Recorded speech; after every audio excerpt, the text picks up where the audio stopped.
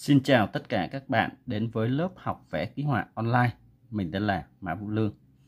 Trước khi vào bài mới là các bạn hãy quan sát ở một cái khung cảnh phía trước chúng ta. Vậy thì thường các bạn biết đó, nếu mà mình ra mình à, ra ngoài mình quan sát một cái phong cảnh như vậy, vậy thì mình sẽ cắt hình nó như thế nào? Có rất là nhiều cách để chọn góc góc ờ, góc hình để mình vẽ các bạn ha có rất là nhiều. Với cái phong cảnh này thì mình sẽ vẽ theo khổ giấy nằm ngang các bạn nhé. Vậy thì ở đây á chúng ta sẽ đầu tiên nếu mà chúng ta quan sát thì chúng ta nhìn thấy á, là nó sẽ có cái thường thường là mình phải tính cái đường chân trời đúng không các bạn? Vậy thì đối với phong cảnh này đường chân trời á, thì rất là dễ tính đúng không các bạn? Đường chân trời là đường phân định giữa mặt mặt nước và bầu trời đúng không? Cái mặt đất và bầu trời thì ở đây cái mặt chất đất á, ở đây mình có cái à, cái mặt mặt nước thì rất là dễ rồi dễ tính rồi. Do đó là cái cái mặt nước nó sẽ là cái đường chân trời. Vậy thì ví đấy, chẳng hạn như nó thấp ngang đây thôi ha. Thì ở đây mình mình các bạn là mới học vẽ thì cũng nên vẽ bằng bút chì trước nha các bạn. Đó bút chì trước. Đấy các bạn cứ vẽ đậm hơn một tí cũng được. Tí nữa mình dựng hình xong thì mình bắt đầu mình sẽ tẩy đi. Vậy thì ở đây á chỗ này này mình thấy ở, ở góc này là nó sẽ có cái con đường đúng không các bạn? Và ở đây có một cái gốc cây. Vậy thì ở đây cái con đường bạn nhìn thấy này chỗ này là đường chân trời đúng không? Vậy thì cái hai bên đường của chúng ta là nó làm sao? Nó là hai đường thẳng song song đúng không? Khi đưa vào không gian thì nó sẽ tụ tại một điểm. Và đường thẳng đi qua cái điểm tụ song song với cái vị trí đứng của chúng ta ở dưới này á cái phần thường thường là cái khung đi cái khung tranh nằm đây đi vậy thì nó là đường chân trời. Vậy thì nó điểm tụ, đúng không? Tụ về đường chân trời, vậy hai đường thẳng song song. Ví dụ con đường mình này cách đây thì nó sẽ tụ về đường đường chân trời này đó, và nó xéo qua. Vậy thì ở, đối với cái đoạn như vậy, nhưng mà tới thêm cái đoạn đoạn nó cua thì sao? Ví dụ như cái đoạn này nó cua qua như vậy. Vậy thì khi mình kẻ thẳng này nó tụ tại ở đây, đúng không? Và cái con đường nó đang nằm bên này, vậy thì mình lại vẽ tiếp, nó nằm đây hình dung chưa các bạn? Đó. Đây vậy thì cái con đường của chúng ta nó sẽ vòng qua đây đúng không nào? Đó nó vòng đây nè. Đúng chưa? Đấy. Và tiếp theo nữa. Tiếp theo nữa thì chúng ta hãy hãy quan sát tiếp. Rồi khi con đường nó vòng qua đây rồi nó lại vòng ngược lại đúng không? Nó vòng qua đây nè. Vậy thì sao? Nó vòng qua đây nữa. Vậy thì khi mà vòng qua đây á, thì nó nằm như nào? Nó sẽ, mình cũng kẻ cái đường này, nếu mà muốn vẽ đúng phối cảnh là mình kẻ cái đường này nè, mình đụng vào đường chân trời đúng không? Rồi, mình cho cái đường chỗ này nó rộng ngang đây, thì bây giờ mình nối cái đường này vào đây. Đó, vậy thì cái con đường này của mình nó sẽ là đúng phối cảnh là như vậy nha các bạn. Đó. Và nó đúng phối cảnh là đúng với cái không gian này, ha? Hoặc là nếu mà, sao? Chẳng hạn như một là chúng ta làm vậy, hai là chẳng hạn như chúng ta muốn cái góc này nó to hơn con đường này, chúng ta nó muốn nó rộng hơn. À thì chúng ta vẽ nó rộng hơn thôi. Ra đây, chẳng hạn. Vậy thì ở đây nó kéo lên đây, nó đụng chỗ này, thì chỗ này nó thẳng xuống. Ở đây, đúng chưa nào? Đó, thẳng xuống là từ đây xuống này. Đó, thẳng xuống, ở đây. Nhưng mà, ví dụ như mình lại muốn khác, muốn cái đoạn con, đoạn này nó rộng hơn nữa. À vậy thì sao? Ở đây, thẳng qua chúng ta muốn mở mở rộng nó ra đúng không các bạn? Muốn rộng, mở rộng nó ra nữa thì đây chúng ta lấy thẳng ra đây. Rồi chỗ này có con đường rồi. Chúng ta lấy tiếp tục qua đây. Đúng chưa? Vậy là con đường mình nằm tiếp trên cao nè. Rồi nằm ở đây ở đây. Vậy thì sao? Mình lại muốn lấy cái phần này nó thấp xuống. Ví dụ như vậy. Vậy thì cái chỗ bên này nó thẳng qua đây đúng không nào các bạn? Này nó tụ tại điểm này vậy thì cái đường mình nó sẽ tràn qua đây. Đó. Vậy là ở đây á, là chúng ta sẽ có nè, chúng ta sẽ có nè. Ha, tới đây. Rồi. Vậy và mình, quan sát mình đã thấy nó nó ra là giống như cái cái ờ, cái cái ờ, khung của chúng ta rồi, đúng không? Giống như cái khung cảnh của chúng ta đã quan sát rồi ha. Vậy thì ở đây nó sẽ tràn ra đây nè. Tới đây bắt đầu nó tràn xuống xuống đây. Nhưng mà chỗ này mình muốn nó nó rộng hơn được không? Nó rộng hơn vẫn được quan trọng là hai cái đường này nó có phải là hai đường thẳng song song không? Nếu nó là hai đường thẳng song song thì nó sẽ tụ tại điểm đường chân trời. Nhưng mà nó không phải đường thẳng song song thì ở đây mình có thể vẽ lớn ra cũng được, không sao cả nha các bạn. Đó, mình có thể vẽ lớn ra cũng không sao ha. Đó. Vậy thì vậy thì chúng ta đã xong cái phần dựng hình về cái về cái con đường của mình. Rồi, tiếp theo tiếp theo thì chúng ta sẽ quan sát tiếp kế bên cái con đường sẽ có một cái ở bên này nó có một cái cái cái giống như cái à, cái cái bệ mà của cái cây ấy các bạn. Đó thì chúng ta thấy này nó sẽ hai đường thẳng này song song nhưng mà nhìn chính diện ha nhìn chính diện. Nhưng mà nó hơi nghiêng một tí bởi vì á, chúng ta còn nhìn thấy cả cái ô bên này nữa các bạn. Mình à mình còn nhìn thấy cả cái cạnh bên này này vậy thì chứng tỏ là cái này không thể nhìn chính diện được mà nó hơi nghiêng về hơi cái chiều bên này á, nó hơi sâu và đi vào chiều sâu một tí. Bởi vì sao? Đây là một cái cái ờ, chậu hình chữ nhật này thì nó chỗ này nó nó mình nhìn thấy bên hông đúng không các bạn? Vậy thì giờ mình vẽ cái hông. Ví dụ như này mình sẽ kẻ kẻ cái hông này thẳng lên đây nó sẽ tụ tại đây một điểm. Vậy thì hai đường trên này là hai đường thẳng song song. Nếu mình vẽ theo cái đường dưới là sao? Thì nó sai đúng không? Sai phối cảnh. À bây giờ vậy là mình lại vẽ cái này tới cái điểm điểm này là một. Rồi, tiếp theo là mình thích lấy chiều sâu vào ít thì mình cho nó ngắn lại. Còn chiều sâu vào nhiều thì mình cho nó dài ra. Các bạn hình dung không? Rồi, còn cái chiều bên này thì sao? Chiều bên này, chiều bên này cũng vậy. Kéo dài thật dài thì nó cũng sẽ gặp nhau tại cái đường chân trời nha các bạn. À nó cũng gặp nhau tại đường chân trời. Các bạn nhìn thấy quan sát cái cách vẽ này là nó vào cái gì các bạn? Phối cảnh cái cục này là phối cảnh bao nhiêu? Hai điểm tụ đúng không? Chẳng hạn như đây. Đó. Và thêm chỗ này nữa. Vậy là chúng ta đã đã vẽ xong cái cái chậu đúng không? Cái cái mà bệ của cái cái cây. Rồi, tiếp theo. Sau đó chúng ta lại dựng hình về cái cây. À vậy thì các bạn quan sát ở đây chúng ta có cái, hai cái thân cây đúng không các bạn? Vậy thì chúng ta lại tiếp tục mình dựng hình cái thân cây. Đúng chưa? Đó dựng hình hai cái thân cây. Rồi khi mình dựng hình như vậy á mình chỉ dựng hình là sơ bộ thôi nha các bạn. Mình không cần dựng hình kỹ chủ yếu là để chúng ta cắt hình. Rồi sau đó sau đó khi mà chúng ta đã chọn được cái góc rồi á mình đụng vô cái máy quay vậy rồi ừ. mình uh, khi đó mình mới bắt đầu. Chẳng hạn như cái cây này mình cũng định hình ha mình định hình cái cây, chẳng hạn như từ đây, mình định hình cái cây nó bự ra. À tràn ra ngoài đây, chẳng hạn. Và nó tràn ra ngoài đây. Rồi, ok. Chỗ này nó tràn ra ngoài. Rồi, cái tán lá cây là tạm thời mình sẽ giới hạn cái chu vi nó nằm như vậy. Và ở bên, hai bên bên đường này cái đường của chúng ta đây nè, thì hai bên đường này chúng ta sẽ có những cái bụi cây nữa các bạn, ha. Sẽ có những cái bụi cây. À nó về đây và chỗ bên này cái cây này nó tràn qua tràn qua cái cái cái cây. Và tiếp theo như cái ra đây là nó sẽ có cái bờ, đúng không các bạn? À cái bờ sông, đúng không?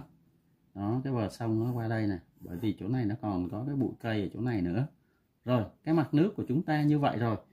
Thì ở phía phía trên mặt nước thì sao? Nó có cây cối và một số những cái ngôi nhà xa xa thì có những cái quả đồi nha các bạn. À, xa xa có những cái quả đồi. Rồi vậy thì ở bên này thì sao? Bên này là bên vách à, này là giống như là cái con đường này đi giữa cái quả đồi đó các bạn. Bên này là một cái cái đồi nó cao lắm ha. Một cái đồi nó cao lắm. Rồi vậy thì chúng ta đã dựng hình là gọi là sơ bộ là chúng ta đã dựng hình xong ha. Thì đối với cái dựng hình như vậy á là đa số là mình sẽ học được cái gì nhiều ở trong cái, các bước dựng hình này các bạn. Mình học được phối cảnh, đúng không? Mình học được cách phối cảnh để mình vẽ cái con đường nè, tính toán chỗ này nè. Rồi tiếp theo của nó là khi mà mình vẽ, thấy không? Khi mình vẽ, nó quan trọng là những cái điểm tụ của mình đều về cái đường chân trời, đúng không các bạn? Đây, cái con đường của mình tràn qua đây tràn qua đây và đi thẳng qua đây. Thì cái điểm tụ bên này, đúng không? Mình muốn mở rộng ra căn theo cái hình căn theo như cái cái góc nhìn của cái phong cảnh của mình. Mình muốn nó rộng ra hơn nữa, rộng ra hơn nữa thì chúng ta chỉ có di chuyển cái điểm tụ này thôi các bạn. Nhưng mà chẳng hạn như ở đây ha, ở đây nếu mà mình vẽ nó tràn ra đây, rồi trên này mình vẽ tràn ra đây, có được không? Vẫn được nha các bạn. Tại vì có những cái khoảng con đường á, từ đây hai cái bên đường này của chúng ta không phải hai đường thẳng song song. Có thể là đoạn này nó bóp nhỏ lại nhưng mà tới đây nó phình lớn ra. Do đó là mình không có áp dụng cách mà để vẽ hai cái đường này nó về một điểm tụ được. Các bạn hình dung như vậy ha. Còn còn cách mà mình dựng hình như thế này á, là nó phục vụ cho cái cái kiểu là hai bên đường này nó song song với nhau. Do đó mình mới áp dụng điểm tụ được. Còn nếu mà hai bên đường nó không phải là đường thẳng song song, thì nó không có áp dụng theo trường hợp này đi về điểm tụ được, các bạn nhé. Rồi, vậy là giờ mình đã dựng hình xong rồi ha. Vậy thì mình sẽ dùng cái cục gom, mình sẽ gom đi những cái à, những cái nét không cần thiết.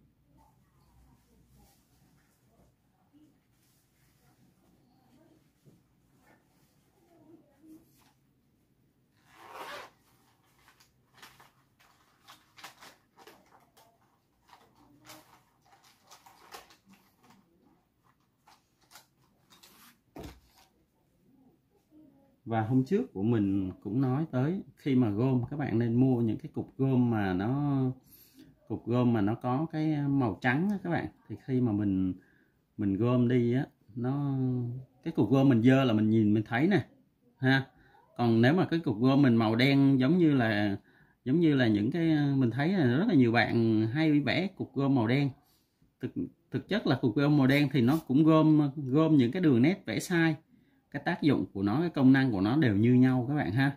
Nhưng mà nó chỉ có một cái điểm là mình đang nói ở ở đây á, là ừ, khi mà mình, khi mà mình ờ, mình ờ, mình gom á, cái cục gom mình nó dơ mình nhìn mình không biết được ha. Khi mình nhìn không biết chẳng hạn như, bây giờ cái cái cạnh này đi, nó đang dơ rồi đi, cái tờ giấy mình nó đang đang sạch nè, mình ờ, vuốt qua cái này các bạn thấy nè, dơ thấy không? Đó, là nó dính lại cái dơ, đó, tại cái cái dơ ở ngay chỗ ngay chỗ này nó nó trà xuống cái cái tờ giấy của mình rồi, làm cho chỗ này nó bị dơ. Đó, vậy thì giờ mình phải tẩy nó đi. Đó.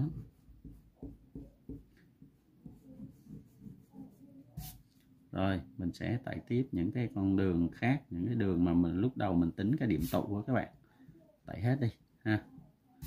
Mình tẩy hết sạch sẽ những cái đường đó đi. Đây nè, đường này nè.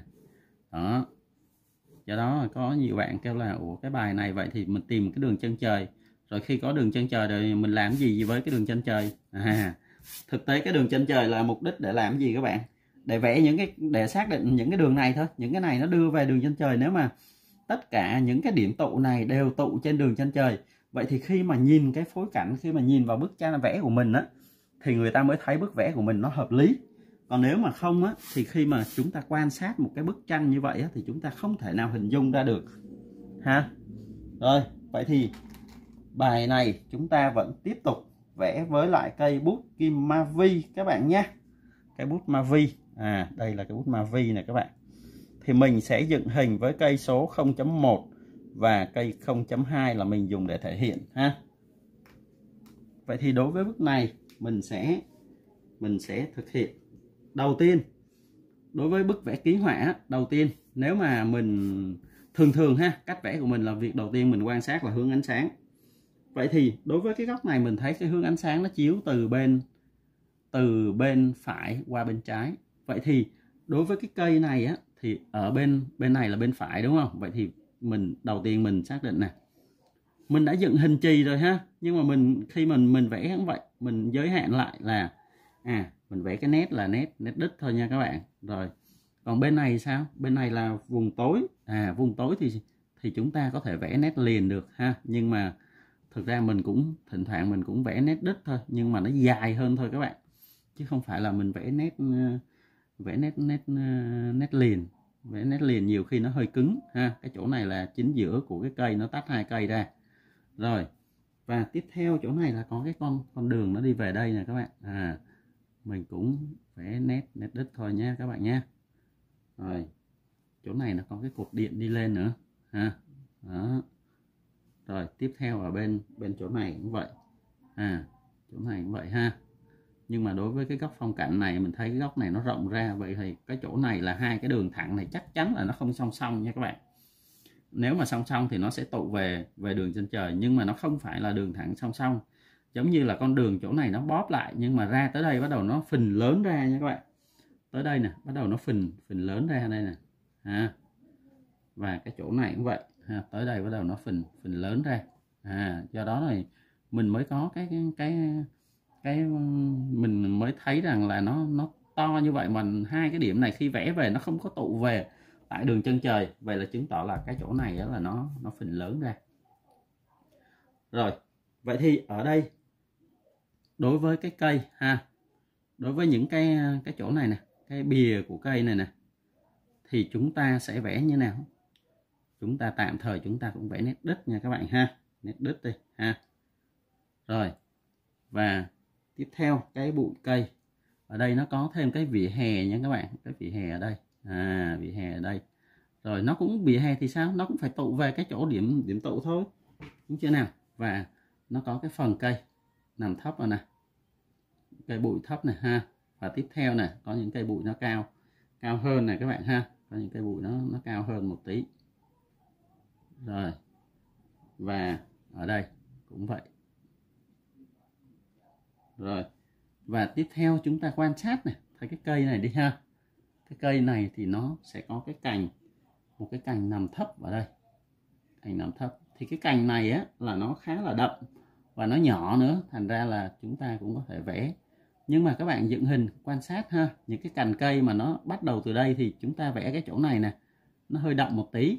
Cái chỗ mà gọi là thường thường như mình hay dùng từ là cái ngã ba các bạn cái đoạn mà cắt đó, đó chẳng hạn giống như uh, ở đây nè thì cái cái khối này của mình vẽ vậy đó tới đây.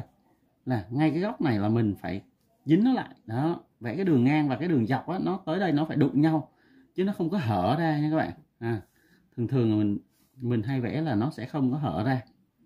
Đó là gọi là những cái đường mà gọi là đường kết thúc đó nha các bạn.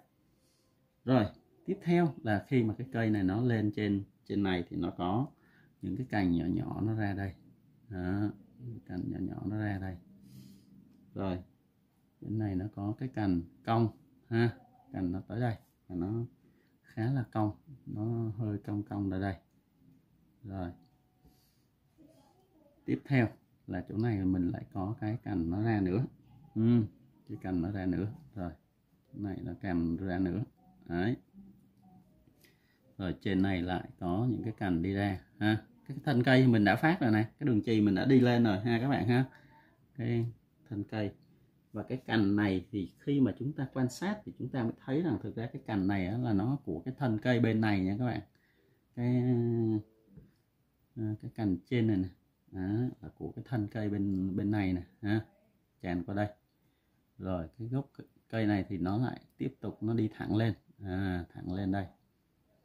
Rồi. Cành cây cái thân này nó tới đây thì bắt đầu nó nhỏ lại ha. Lúc đầu nó lớn nhưng mà tới trên đó là nó nhỏ lại. Và chỗ này thì nó có cái cái cành của cái cây bên này cũng thế. À, khúc này thì càng xuống dưới này ở dưới này bắt đầu nó có một cái cành tràn qua. Đấy tràn qua.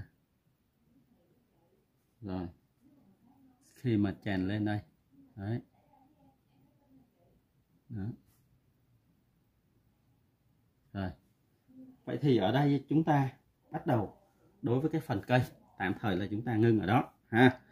Rồi, tại vì sao? Nếu mà chúng ta muốn kỹ hơn thì tất nhiên là các bạn phải vẽ rồi. Các bạn phải vẽ thêm cành vào, đúng không các bạn? Đó, cành vào nè. Ha, cành vào. Cành vào. Rồi, cành này đi lên đây. Đó. Cành này nó đi nằm ở đằng phía sau. Đấy. Rồi, chỗ này nó có những cái cành đi lên. Cái này, cành nó đi lên. Nó hơi hơi, nó không có thẳng nha các bạn. Đó, nó hơi cong cong cong cong, lượn lượn đó các bạn. Đó. Rồi. Rồi tiếp theo, lên trên này nữa. Lên trên này thì nó có những cái chỗ, cái cành nhỏ nhỏ ở đây. Và nó tràn ra, ha. Rồi, chỗ này nó có cành nữa. Rất là nhiều cành chỗ này. Đó. Đó à. khi chúng ta quan sát thì chúng ta cũng không thể nào sáng tác hết được. Chúng ta chỉ sáng tác những cái cành nhỏ xíu thôi nha các bạn còn những cái cành chính á, thì các bạn có thể vẽ cho nó quan sát mình vẽ đúng thì nó tốt hơn ha. thời gian đầu thì mình học vẽ thì mình như vậy về sau thì mình điều chỉnh theo ý của mình. Đó là tùy vào mỗi người các bạn nha. Ừ. và chỗ này thì nó sẽ có những cái cành nó ra đây nữa. Đấy. Rồi ok vậy là chúng ta đã vẽ sơ bộ về cái cái cây, đúng không các bạn? Tại vì cái chỗ này nó sẽ kết nối xuống đây nè. Đó, nó sẽ kết nối xuống đây nè. Đó, đấy. Rồi, vậy thì ở đây chúng ta quan sát thì lại tiếp tục. Khi mà đối với những cái cây ở xa, phía đằng xa này thì nó có những cái bụi bụi cây, đúng không? Cái bụi cây là cái tán lá nó khá là rộng khá là rộng nó tràn qua đây. Thì mình cứ định hình thường thì mình hay hay sử dụng mình quan sát đó mình thấy á, những cái cây mà ở xa mình sẽ vẽ theo kiểu là hình thức là vẽ cái cây rối cái nét rối tròn nha các bạn. Còn chỗ này nó có theo cái dạng mà gần giống như là các bạn nhìn thấy nó giống như là cái cái bụi bụi chuối nó thấp thấp đó các bạn. Ha cái lá nó hơi dài một tí. Rồi và tiếp theo chỗ này nó có một cái trụ nhưng mà thôi mình bỏ cái trụ đó đi. Rồi mình vẽ tiếp là cái bờ.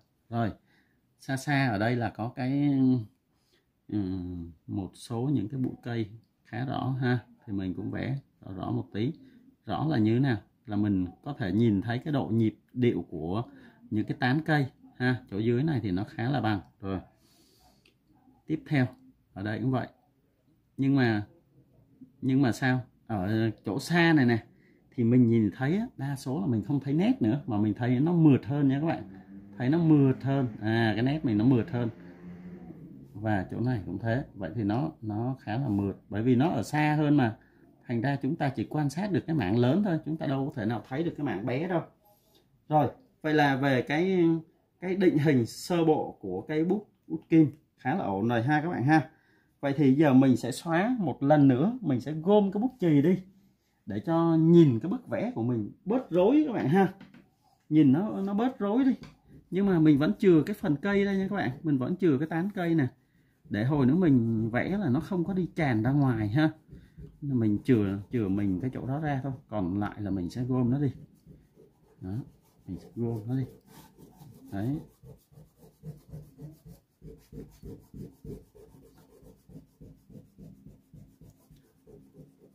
Rồi, vậy là chúng ta xóa nó đi. Thì chúng ta nhìn thấy đó khi mà chúng ta gom nó đi rồi á, thì nó nó được như vậy. Mình nhìn thấy nó, cái định hình của nó là như vậy, ha.